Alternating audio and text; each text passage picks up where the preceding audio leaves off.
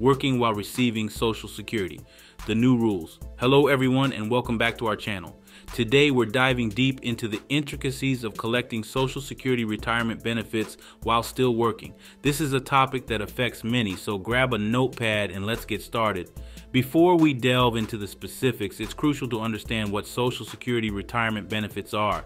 These benefits are distinct from other types like Social Security Disability Benefits or SSI. To be eligible, you need to have worked for at least 10 years, which equates to 40 credits, and have contributed to the FICA tax throughout your working life.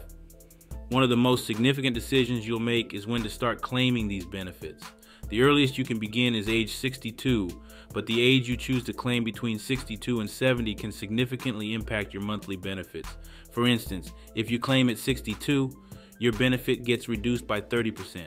But for every year you delay, this reduction decreases, meaning you get a higher monthly payout.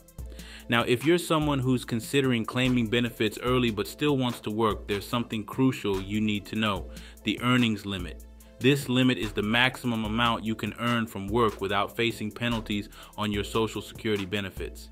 For 2023, this limit is set at $21,240 for those who claim before reaching their full retirement age.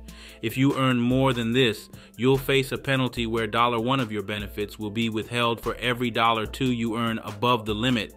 Your full retirement age or FRA, is a pivotal point in this discussion.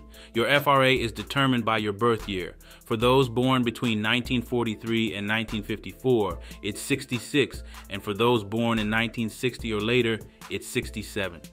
Reaching your FRA has benefits. In the year you reach your FRA, the earnings limit jumps to $56,520 for 2023, and the penalty becomes less stringent with $1 of benefits withheld for every $3 above the limit. And once you've crossed your FRA, there's no earnings limit at all. But what exactly counts as earnings? For the Social Security Administration, only your wages or net earnings from self employment are considered. So, dividends, interest, pensions, capital gains, and other such income sources don't count towards the earnings limit. If you're married, there's another layer to consider spousal benefits.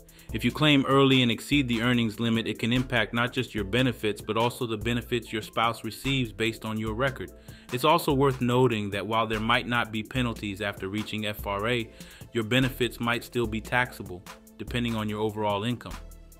Claiming Social Security benefits is a significant decision that can impact your financial health in retirement. While some might benefit from claiming early, others might find it more advantageous to wait.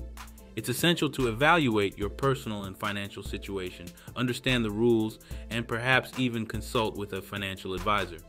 Hey everyone, I've curated some valuable resources and links to help you dive even deeper into the topic of Social Security retirement benefits. Be sure to check out the description below for these useful links. They're designed to provide you with additional information and tools to make your retirement planning even more robust. Happy planning! That's all for today's deep dive into Social Security retirement benefits while working. If you found this video insightful, please give us a thumbs up, share with friends and family, and don't forget to subscribe for more detailed content. Until next time, stay informed and make wise financial decisions.